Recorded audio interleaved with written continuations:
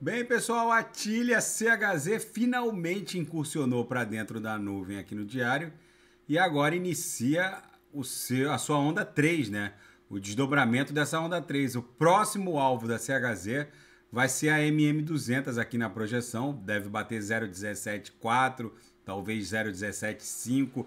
O prognóstico é muito positivo, as três linhas do canal de Keltner agora emborcando forte para dentro da nuvem de baixo para cima, iniciando esse transpasse. Na projeção, a nebulosidade avermelhada já já vai dar aso a uma bela nebulosidade esverdeada. E quando a tilha iniciar o trânsito por cima do setor verde, como aqui, ó, aqui está o setor verde, ó, ela sofre essa repulsa magnética que provavelmente vai levá-la para esses cumes aqui na altura de 0,20, podendo bater 0,26 até.